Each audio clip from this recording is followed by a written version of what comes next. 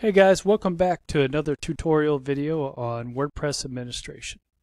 Now here we are in the dashboard and what we're going to do is we're going to go ahead and show you how to install, how to search for, install, uh, and remove plugins.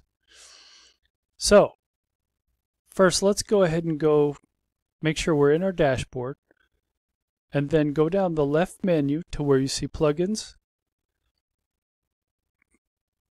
and that's where we're at right now. And what you'll notice is if you have any plugins in there already, which you should have at least one, it'll be sort of a baby blue background uh, and that indicates that it's activated and installed. Also, if the word deactivate shows up, that also indicates that it's activated. Now let me just show you what it looks like uh, when something's not activated. As you can see, it's an even lighter blue color, which I believe is referred to as Alice blue in the HTML color codes. We'll go ahead and activate our contact form 7 again. That was just to show you the difference and how you can know if, if it's activated or not.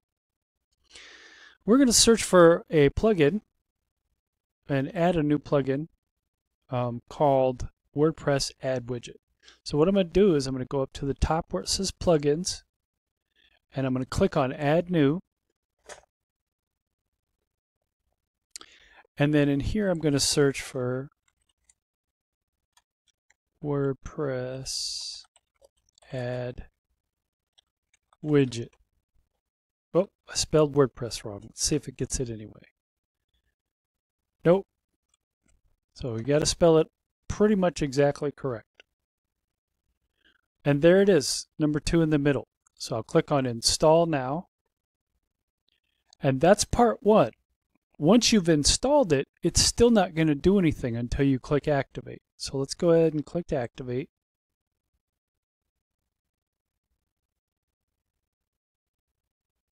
And after it activates, it'll bring you back to the plugins page.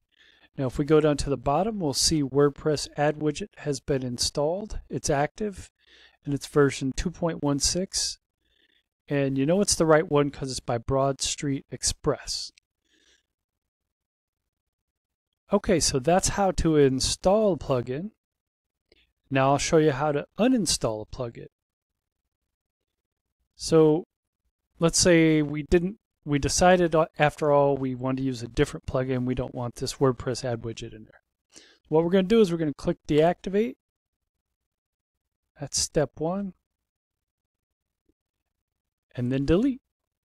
And then it'll say, are you sure you want to delete? Because you're going to delete it and any data.